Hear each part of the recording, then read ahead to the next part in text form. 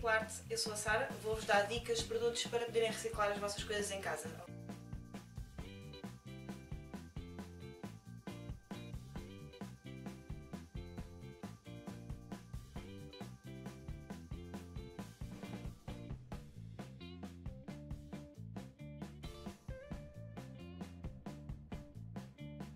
Então, como já puderam ver a lista de materiais, vamos reutilizar aquela latinha batata frita, que não vamos falar o nome, mas toda a gente conhece qual é que é. Pronto.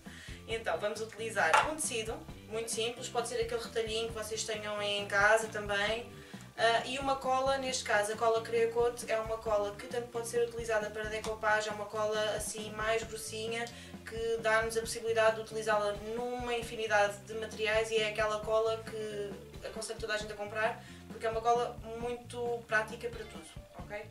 Neste caso vamos aplicá-la com tecido, o que não é fácil com todas as colas, não é? Pronto. E então vamos passar então à aplicação da cola, ok? a nossa colinha, ela como vocês podem ver, ela tem uma grande consistência, assim uma cola branca, ok? E então vamos passar aqui a aplicação na latinha.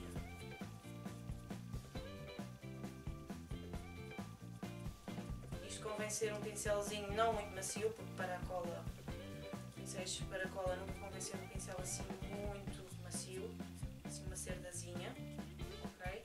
E fazem isto por toda a caixa para depois seguidamente colarmos aqui o nosso tecido.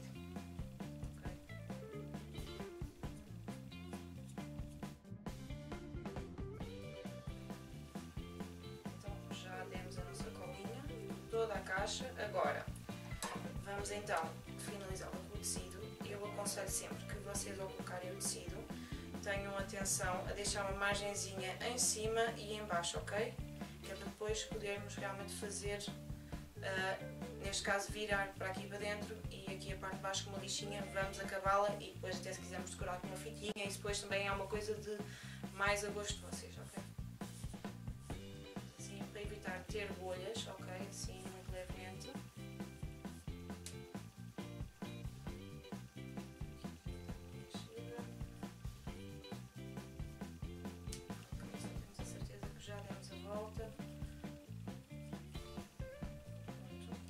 Depois vamos rematar aqui, ok, o tecido. Podemos aplicar mais um pouquinho aqui de cola. Assim.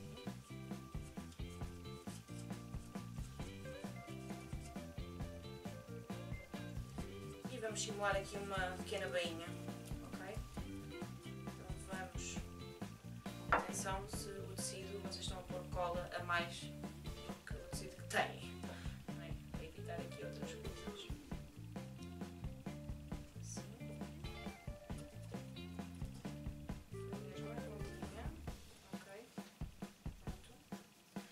Se quiserem fazer, pronto, assim, deixá-la assim dobradinha para baixo, que é para ver se faz um bocadinho de pressão.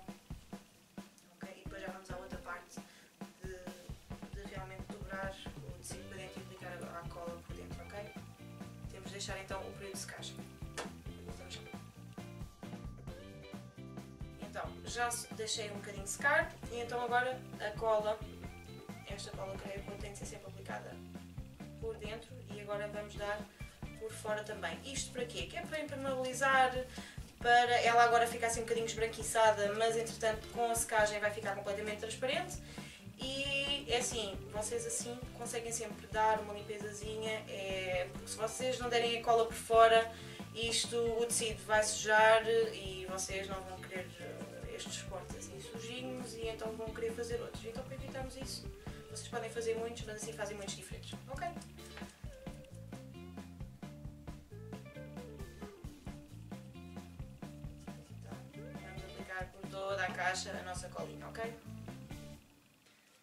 Já estamos a acabar a nossa finalização com a cola, ok? E entretanto, vamos deixar o período de secagem para depois podermos realmente virar uh, aqui estas bordinhas para dentro e estas aqui também.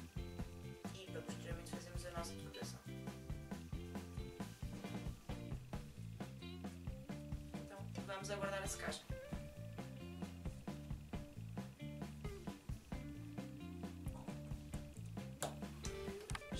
Já metemos o nosso período de secagem para, um, neste caso, o tecido, agarrar à lata da parte do fundo. Eu aqui por cima também podia optar da mesma forma, fazer como fiz em baixo, colocar cola, uh, daquela cola branca, creia coat, mas aqui vou fazer a cola de silicone que é um bocadinho mais resistente e se eu quero fazer isto um suporte lápis ou uma coisa assim desse género, tem de ser uma cola que seja um bocadinho mais suficiente,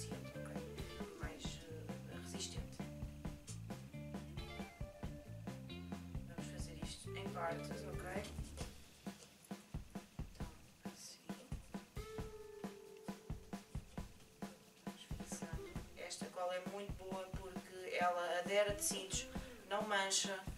Um, permite que ela fique assim uh, durinha e que seja bastante resistente, que isto basicamente é silicone líquido. Também podem fazer quem tiver pistola de cola quente, também pode fazer, só que a pistola de cola quente se calhar é diferente, não é? Fica mais... Uh, tem a, a, temperatura da cola e não pode não resultar tão bem por isso, devido à temperatura que vai exercer para fazer a, a tornar a cola líquida. E assim com esta cola a bloco é espetacular. Isto faz tudo, papel, não mancha, é daquelas colas indispensáveis para quem quer fazer uh, trabalhos de artes decorativas.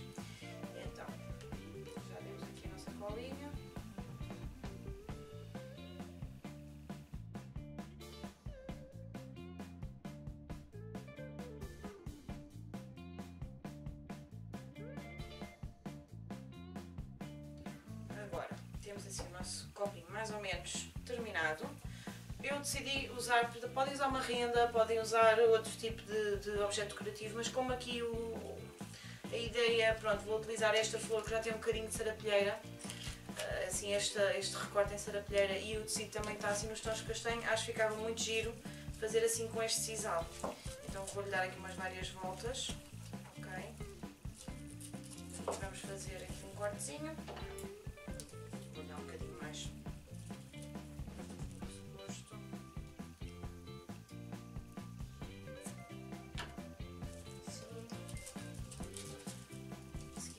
Fazer um nozinho diferente, isso já, já vai um bocadinho do gosto de cada pessoa.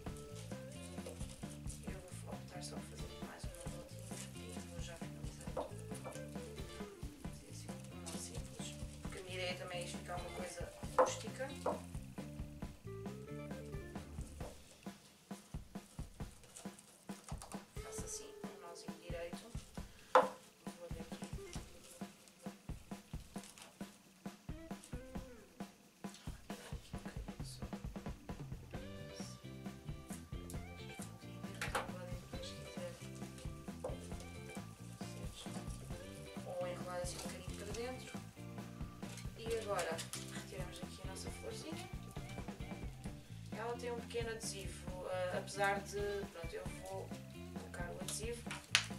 Ok, assim uma esponjinha.